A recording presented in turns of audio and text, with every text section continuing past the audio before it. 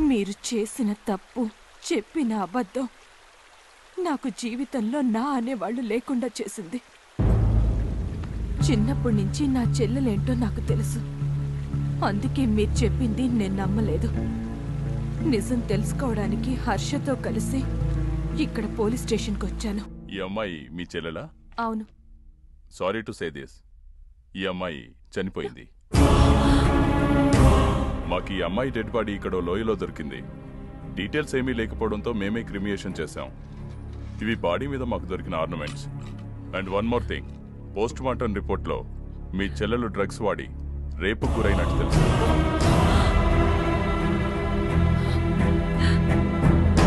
What గాయత్రిని rape చేసి చంపారా? No ఛాన్సే లేదు. గాయత్రి డ్రగ్స్ ఎక్కువ తీసుకోవడం వల్ల కదా చనిపోయింది. మీలాంటి ఫ్రెండ్స్ అబద్ధం చెప్పొచ్చు. కానీ పోస్ట్ మార్టం రిపోర్ట్ అబద్ధం చెప్పదు. నీ కళ్ళే చెప్తున్న తప్పు జరిగిందని చెప్పరా? చెప్పు. ఏం జరిగిందో చెప్పు. చెప్పు. చెప్పరా? చెప్తా చెప్తా. ఆ రోజు రాత్రి పార్టీ అందరూ వెళ్ళిపోయారు. కానీ నేను అనిల్ గాయత్రి ఉన్న టెంట్లోకి వెళ్ళాం. Mm. Mm.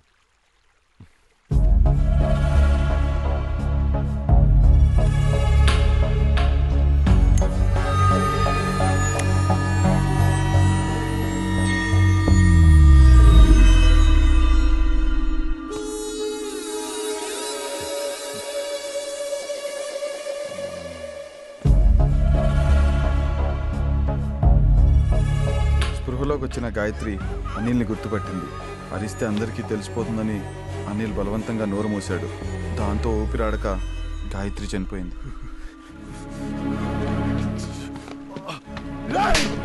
ఎంత పని చేశారా? నువ్వు కూడా నన్ను చంపేద్దాం అనుకుంటున్నావా? అయినా రోజు మైకల్లో ఏం చేసావో తెలియక చేసావు. అందుకని చంపేస్తుందా ఇది? మనందరినీ చంపేస్తుందా? నేను చంపేస్తా నాకు దీన్ని సై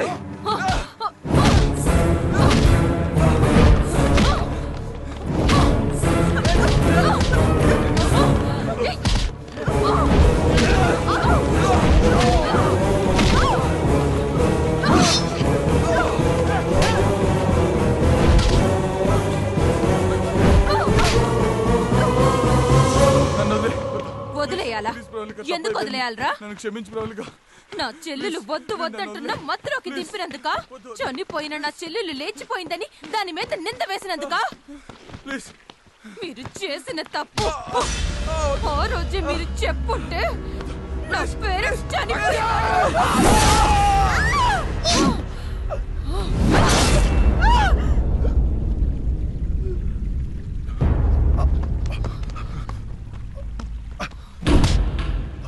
గాయత్రి చనిపోవడానికి కారణం మేం కాదని తెలిసిందిగా. ప్లీజ్ మమ్మల్ని వదిలే. కర్ణుడు ఏ తప్పు చెయ్యకపోయినా దుర్యోధనుడి పక్కనున్నందుకే చావాల్సొచ్చింది. మీరు అంతే. ఏ కులుమనాలిలో నా చెల్లెలి చావుకి కారణమయ్యారో అదే చోట మీ అందరి చావు చూడాలనుకున్నాను. అందుకే హర్షతో కలిసి ఇదంతా ప్లాన్ చేశాను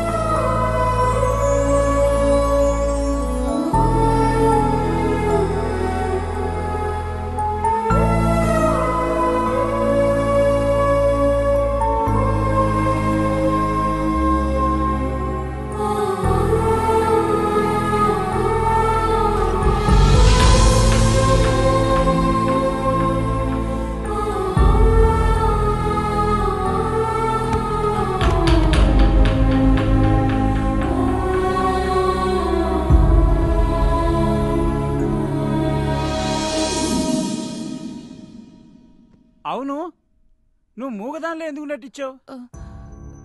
టూర్ వెళ్ళిన మా ఓనర్ నెల రోజుల వరకు రారని తెలిసి నాలుగు రోజులకి లక్ష రూపాయలు ఇస్తానని చెప్పి హౌస్ రెంట్కి తీసుకున్నాడు హర్ష.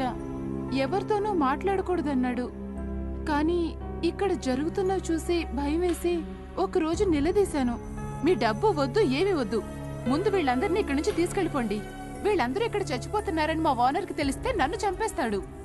ఇప్పటి వరకు పట్టావు కదా. ఇంకొక్క రోజు ఓపిక పట్టు పని అయిపోతుంది ఒక్క రోజు ప్లీజ్ అవునా పర్ణ? నీ సంగతి ఏంటి నేను దొంగని. మిమ్మల్ని లిఫ్ట్ అడిగే ముందు ఆగున్న కార్ కూడా నేను కొట్టేసింది. తర్వాత డిక్కీలో డెడ్ బాడీస్ చూసి భయపడి మిమ్మల్ని లిఫ్ట్ అడిగి మీతో వచ్చేసాను మీరు లేనప్పుడు మీ రూముల్లో తిరిగింది కూడా చిన్న చిన్న ఐటమ్స్ కొట్టేయడానికి. అవును చంటి ప్రవల్లికి కిల్లర్ అని నీకెలా తెలిసింది? వీడు నూళ్ళలోకి తీసుకెళ్తే ఖచ్చితంగా పోలీస్ స్టేషన్ తీసుకెళ్ళమంటాడు. అందుకే ఇక్కడ తీసుకొచ్చాను నా కసి తీరా మిగతా వాళ్ళని కూడా నా చేతులతో చంపే వరకు వీడు ఎవరికీ కనపడకుండా చూసుకో. అవును. మరి కాశీంని ఎవరు చంపుట్టారు? ప్రియా వాళ్ళని చంపాలని చూశాడుగా. తన చెల్లికి జరిగిన అన్యాయం. ఇంకెవరికి జరగకూడదని తనే చంపుంటుంది. మరి పోలీస్ స్టేషన్లో హర్ష కంప్లైంట్ ఇచ్చా అన్నాడు సార్ నా బైక్ కొంచెం రిపేర్ అయితే నా ఫ్రెండ్స్ బలవంత పెట్టి వాళ్ళ బైక్ తీసుకెళ్ళాను. రెండు రోజులుగా కనిపించట్లేదు సార్. అందరూ కంగారు పడుతున్నారు. కంప్లైంట్ రాసివ్వు. మా కజిన్ బైక్ కనిపించట్లేదని కంప్లైంట్ ఇచ్చారట. బైక్ కనిపించింది. కంప్లైంట్ విత్డ్రా చేసుకుందామని వచ్చాను. Okay sir. హర్షని పోలీసులు అరెస్ట్ చేశారు కదా? శిక్ష పడుతుందంటావా? అవునులే. హత్య చేసిన వాళ్ళకే కాదు సపోర్ట్ చేసిన వాళ్ళకి కూడా శిక్ష తప్పదుగా.